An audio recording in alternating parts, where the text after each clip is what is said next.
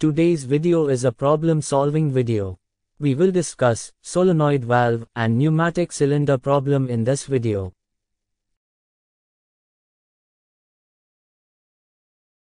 Suppose a pneumatic cylinder is not operated on giving signal from solenoid valve or SOV. Then, what are the possible reasons?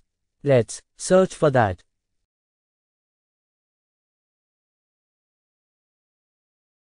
It is a very common problem, but sometimes it is hard to detect where the actual problem is. Sometimes we check SOV and sometimes we check pneumatic cylinder but we can't find the actual problem. Now come to its resolution. A pneumatic cylinder is operated by SOV or solenoid valve. Solenoid valve is the full form of SOV. In this image, solenoid valve and pneumatic cylinder are shown. Solenoid valve is shown by the rectangle, pneumatic cylinder is shown by the arrow. Now, I will explain you how pneumatic cylinder is operated by solenoid valve. In the image, pneumatic cylinder is shown operated, the arrows are shown on the left side and right side of pneumatic cylinder, these are the air tubings for pneumatic cylinder. Air tubings are connected at the output ports of solenoid valve. Output ports are shown by the circle. But, how? We will start checking. Let me explain you.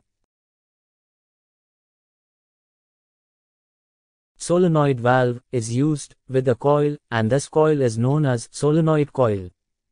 Solenoid coil as shown by the circle. The electrical supply is provided to the solenoid coil. And, here is the point where this supply is given and is shown by the arrow. Do you know what is supply given to solenoid coil? If yes, then reply. Now, we will see how to check that the coil is working or not.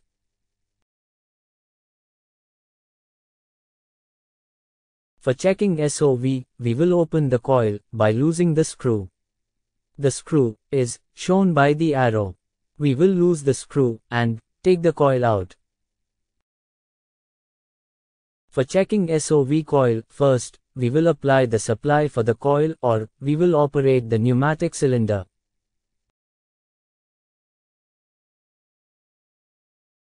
If the solenoid coil is working, then magnetic field will be there and it will attract the line tester knob. If we take the line tester knob inside the coil, then we can feel that the coil is attracting the tester knob.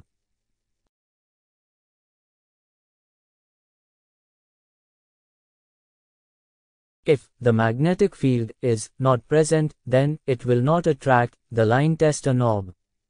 Then we will replace the coil of the SOV.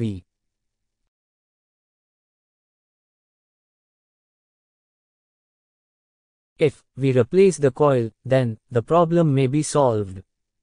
In most of the cases, the problem is solved. If the coil is working and the problem is still there, then we will proceed to other steps.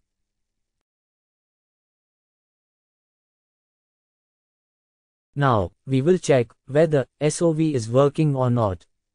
This is an important step, so watch it carefully.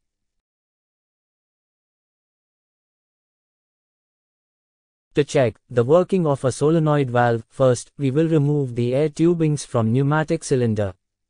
Air tubings connections are shown by arrows.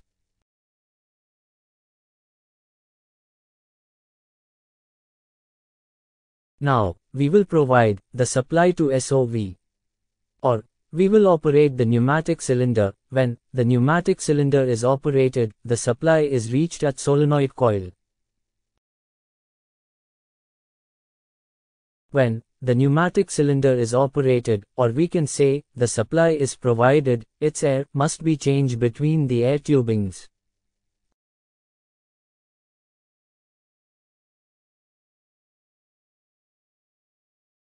If the air is changing between tubes, then the problem is from cylinder side. If the air is not changing between air tubings, then SOV is not working.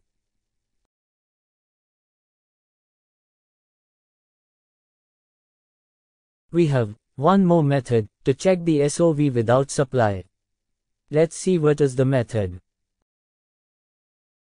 It is by manual switch off SOV. We will press this button and the air will be switched.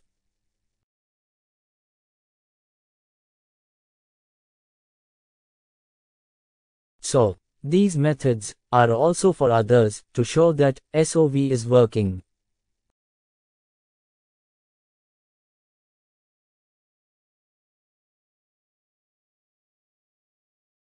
So, that was our video. Thanks for watching this video. If you really like the videos, do like and share with others. Also, press the bell icon for more updates.